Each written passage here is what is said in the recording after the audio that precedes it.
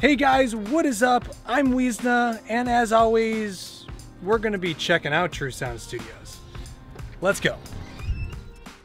True Sound Studios is in your ears. Okay, so here is the entire look at True Sound Studios. If you guys don't know, this is actually a converted garage, and we turned this into a full-time, full production recording studio. And essentially, this is where this is where I live for most of the day and most of the week. So if we start over here by the front door, uh, this is a steel door. We got my skateboards. Um, we got some guitar hangers to obviously hang guitars on. Um, a coat rack. And then business cards and like places to put flyers for bands and artists about upcoming shows and whatever. And obviously very important. We have fire detection alerts, whatever. uh, link to the security system so the place doesn't burn down. If it does, at least I'll know about it. Okay, so let's start over here. These are my main speakers. These are Dynaudio BM6A speakers. Absolutely love these things. Um, they I've used them 98% of the time. They are the speakers that I use in every mix and recording and tracking session. Uh, some other speakers that I do use though are these Polk audio speakers. Now these are more like stereo speakers, home theater speakers, but I do like to listen through the mix with them, you know, to check the mix. This is like a single speaker mono cube thing um, that I'll check mixes through that. Behind the console, Got a couple Infinity speakers here that I'll also listen to the mix through, just to give the final, final listen. So if we start over here, this is the main monitor I do all the editing through. It's a 42-inch TV. And over to my right is a 24-inch widescreen, and really, as you can see here, it's just really for the, the mixer, the fader in the DAW. And also if I need to like look at something in detail, I'll bring it over to this monitor. Otherwise, that is the main monitor. Uh, up top is the whole security system. That's actually me filming right there. uh, that is the driveway cam. Uh, that is inside of our house because people use the bathroom in there. There's no bathroom in here. Um, and then the vocal booth. And then you can actually change these cameras. There's three more cameras uh, for some other things that uh, like guitar cabs and things like that. So the console, the centerpiece of the studio is an Allen & Heath 40 channel GL4000. Um, we have a total of 40 inputs, 40 analog inputs. Um, this is the summing side, so essentially everything comes from the DAW and comes into the console over here. Um, these 24 channels are all the input. Think of them as like 24 channel strips. Um, that it's pretty much how I use these 24. So, you know, we got drums, guitar, bass, vocals, stuff like that happens over here. If you guys want to see how I use all this gear, there's another video that I will link in the description of this video and it will be at the end of this video and it'll show you guys how I essentially have all this hooked up and use it in the DAW world. So in the center here, this is the whole busing section for the console. It's also how I control all the speakers, um, route things to the auxes and all the metering. And if you look on top of the console, this is actually a TOA 16 channel metering system. And that's only because the Allen Heath only has four segment LEDs. And so I bought this to just help me out, just to be able to see the signal better coming out of the console. On top is an Audioscape bus compressor. This is like an SSL clone style bus compressor. Love this thing. It ends up on just uh, essentially every single mix, every single track that I do. Uh, got a little monitor over here to see how warm it is, humidity. That's the talkback mic. And then on the top to the left of the console, we have a charger for the mouse. Um, this is old. This is a TonePort, a Line 6 TonePort. Sometimes I actually still use this um, if we don't want to set up like a full guitar rig, just to do some rough guitar sounds. Over here, this is the Waves guitar. It's essentially a, an impedance matching uh, DI box. This is the controller for the ISO cab. It actually moves microphones around inside of it. Got the iRig Pro Duo. a candle. And in front of the console is the Softube Console 1. Absolutely love this thing. If you guys don't know about this, check it out. It's essentially a hardware controller for their plugin. Amazing, amazing sounding, functional, just love it. That's why it's in the center of the console here. Just couldn't go wrong with this thing. Such a great deal. Over here to have a little bit of control inside the DAW, I got the PreSonus FaderPort. And then if you pull this open, uh, the keyboard, obviously, to control the computer. Um, a mouse with a whole bunch of programmable buttons on it. I love this thing. It's great. You can program all these different buttons and switches and things. Uh, the little producing area underneath is this tray that pulls out and pretty much just a whole bunch of uh, remotes where I put my keys, pens for me, chargers, tuners, you know, just a whole bunch of little things that I just often need when I'm recording or transferring files or something like that. Uh, this is obviously an Arturia little MiniLab just for keys. The Akai, uh, obviously use that for drums. And then buried over here is a little USB hub. And there's actually another USB hub to the right of the console for some more gear. Obviously a clock, switcher for like uh, the aux cable so that you can listen to obviously your phone through, you know, the big boy speakers. Um, over here is the Alesis trigger. Uh, I bought this thing and I honestly, I've used it once and it didn't really work out too well. Um, it was just a, it was a really good deal. So I bought it and yeah, I don't really use it, but uh, one of these days, maybe I'll get around to using it. So over here to the right of the console, up top, we have two SSL Alpha Link uh, converters. So this handles all of the inputs and outputs from the DAW to the console. Uh, the top one here has 16 inputs and 4 outputs. The bottom one has 4 inputs and 16 outputs, giving me a total of 20 ins and 20 outs. Um, and it is all clocked through the Apogee Big Ben, which is uh, an amazing clock. Up top here is just a controller, essentially just an on and off switch for some other gear. Uh, LED lights, the metering system, talkback mic. Uh, that's actually for the reverb. I don't know why that's not labeled. uh, the BPM helper is something I built for drummers. The Dynaudio speakers, when I do, um, I turn them off when I have, when I do my tutorial videos. Monitors for the security system, a mic mover for the ISO cab. Right below that is a power conditioner. Then obviously the Apogee Big Ben. Here we have the Lexicon, the MPX 100, and really I just use this reverb. Um, it's mainly just for vocalists, just so they can hear some reverb in their headphones, but I have found lately I did start using it a little bit more on mixes. This is my parallel compression chain. It is a BBE 362 sonic maximizer to add a obnoxious amount of bass and treble. And then below that is the DBX 266XL compressor to add a ton of attack to uh, the parallel compression channel. And then right below that is my homemade API 10 channel summing mixer. I built this whole thing from scratch. It's got API op amps in it. It has Jensen transformers and some German transformers. Each channel you can actually pan and have gain control. There's a signal limit on there. The master section, which tells you essentially how much output you're going to send back to the DAW.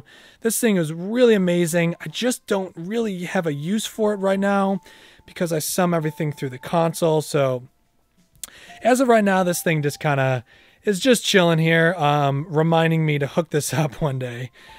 Uh, below that, um, what I did is I took a distortion pedal, a guitar distortion pedal, turned it into a rack form with some transformers, uh, run it through like some crappier microphones to get some fun, fun distorted sounds. Uh, you can turn it on and off, distortion.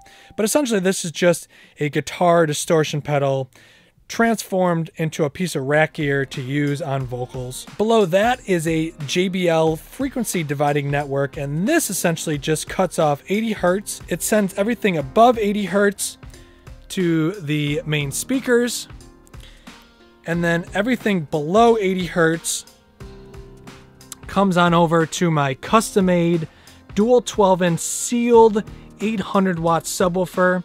Um, this thing is in a sealed box so that it's super accurate. Um, it's got enough power. Those are EAW drivers in there.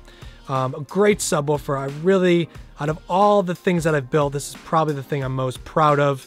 I really, really like that subwoofer. So below the JBL is a Apex four channel gate. Um, I can't really say I use this too much anymore. I used to use it on like uh, really distorted guitars to cut out some of the junk noise in between. But uh, yeah, I had to send away the power supply for this, so currently it's not being in use. Um, here we got another BBE Sonic Maximizer, and I will run this through the guitar chain if I need a little bit more brightness out of guitars. Um, I will use this. And then last on here is just a patch bay, an XLR patch bay, just to patch in a few things. We got some line stuff. Can patch in 39 and 40 to the console base for like DI, another output from the console, and then finally an input for when I do all my videos. So below this rack is both power supplies. I have a redundant power supply. Essentially, I'm always using this one, and this is backup just in case this power supply goes. So I never essentially have to have downtime in the studio. Uh, next to here is an infrared heater. Essentially, it heats the entire control room all winter long in cold, cold Buffalo. So if we move over to the left of the console, up top here is an Alto real-time analyzer. It's kind of hard to see those LEDs moving right now in this bright room, but this is a analyzer, so essentially I can see the frequencies show up on here if I need to like scoop out some bad frequencies, maybe in guitar or drums while I'm tracking. Right below that is a Trident S20. These are like solid state, super, super clean preamps.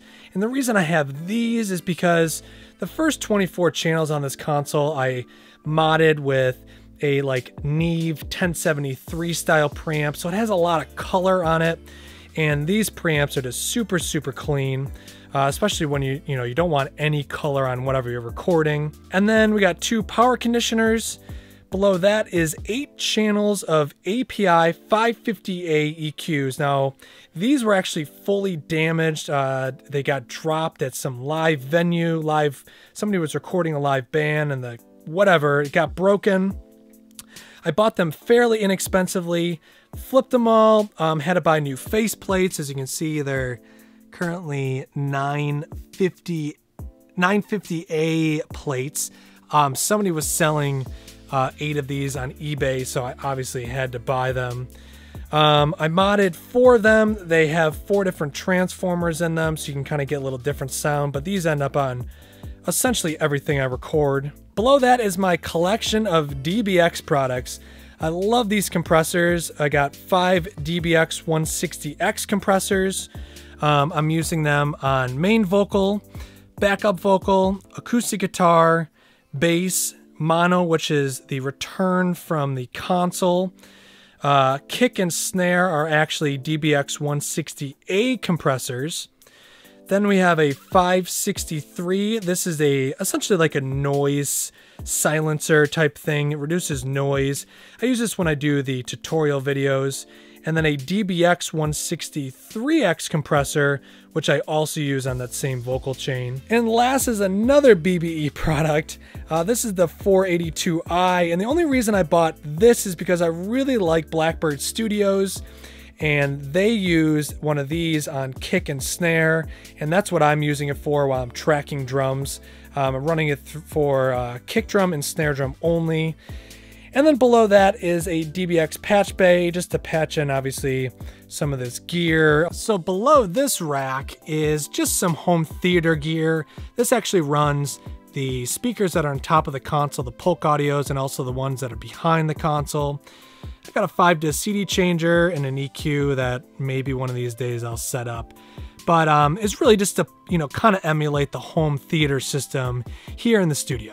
Okay, so to the left of the console, this green door is actually how you get into the storage room and the live room. And then we have an air conditioner. This is actually the mic I use when I do the tutorials. True sound sign. Then we have like an old reel-to-reel -reel tape machine. This is a quarter inch tape machine. Uh, in this drawer, we got a whole bunch of tools. Um, down here is some vinyls, uh, interface I don't use. Uh, in this drawer, Got some electronics that, you know, I may or may not use. Pretty much doesn't get really used much. That's why they're in there. Uh, down here, a whole bunch of reel-to-reel tapes for that tape machine. Over here, we got uh, just a little 10-inch speaker, uh, just in case people want to jam in the control room, which doesn't happen much. and then just a printer, a couple extra hard drives. Uh, this is an old air organ. Um, occasionally I use this. It doesn't get um, used too often, but it does have some cool like buttons that you press, and it does full chords. Um, very unique sounding. Let's put it that way. Uh, this is a Blackstar amplifier. This is the HT Club 50. Um, once again, my fourth Sonic Maximizer. Uh, this runs through the effects loop of here. Really kind of like this combo together. It really does sound good. Um, up top is just a Behringer tuner. Can't say this thing is too reliable, um, unfortunately. Uh, often used like a little snark tuner. Um, in here, got some capos, a jar of picks.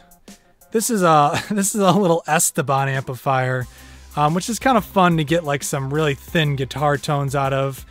This is actually a watt meter that I run through the Blackstar because I run this um, through a ISO cab often. And this way I know how much signal I'm putting out to make sure that we're pushing the amp hard enough. Just a little speaker. Um, to is really for this amplifier um, that we'll use together. Just see a little three inch speaker to get that thin guitar tone. Over here, this is uh, my camera bag and camera. But in these bins, there's a whole bunch of cables. So we got a whole bunch of chargers, guitar stuff, pedals, power supplies for guitar pedals, uh, guitar straps, RCA cables, don't really use those much, power supply cables, uh, all USB cables for computer related stuff. These are a whole bunch of adapter cables for pretty much anything you'll need in a studio.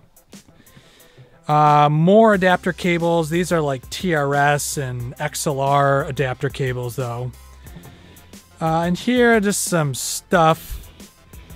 This is a bunch of meters and extra wire, you know, to kind of fix stuff if things get broken label makers, and finally business cards and CDs and that is my old studio. That's my previous studio. So over here we have two couches. Obviously this is directly behind the console.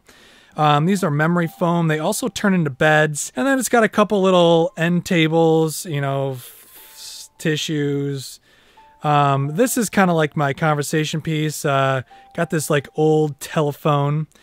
Now in the back here, that is a three foot thick bass trap.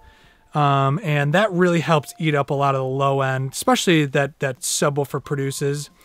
Now these green slats, everyone asks me, it's a cool design, but I want to show you, let's see if you guys can see the angles on here. So this one's pretty much flat.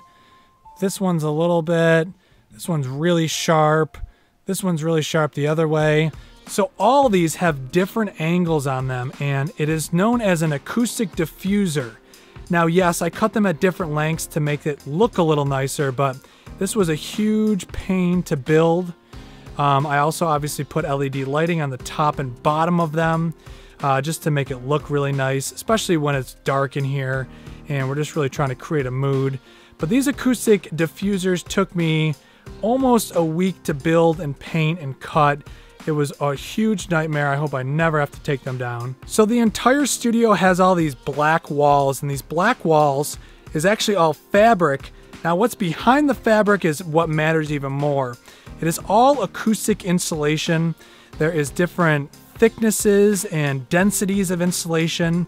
And what it does is it makes all of these walls, it turns these into acoustic panels. So what all these acoustic panels do is it turns this garage into a suitable space to mix and record and deliver a good product that my clients expect. Now, including the acoustic treatment that is around the entire room, there's also acoustic panels on the ceiling, over the console, and in all the back corners and all the major areas where any reflection would happen off of this ceiling. Okay, so finally moving on. Next to the couch is a dorm size refrigerator, a whole bunch of paper and pens so people can write and jot things down and lyrics and things like that. Uh, garbage, that little hole is the recycling, uh, utensils, a microwave, and finally the coffee maker. So one of the things that probably people notice the most about the studio is all the LED lighting. So the entire studio is lit with 16 color LEDs. So you can really change the look of the studio, um, the feeling, the vibe of the studio really easily. Some clients want it really dark and chill, and some people want it brighter, some people want to feel a little happier. And very simply, you can go ahead and change the color of the studio, the light that projects on the console, and really change the mood in this room. Super easy. You can also have a dance party in here if you wanted to. So if you guys like this video, consider subscribing and hit that like button. Follow us on Instagram for daily posts. You can find the beats that I make right here at the studio on our SoundCloud page. True Sound Studios also mixes and masters your tracks. So once again, guys, thanks for watching this video. I'm Weezna, we're at True Sound Studios, and True Sound Studios is in your ears.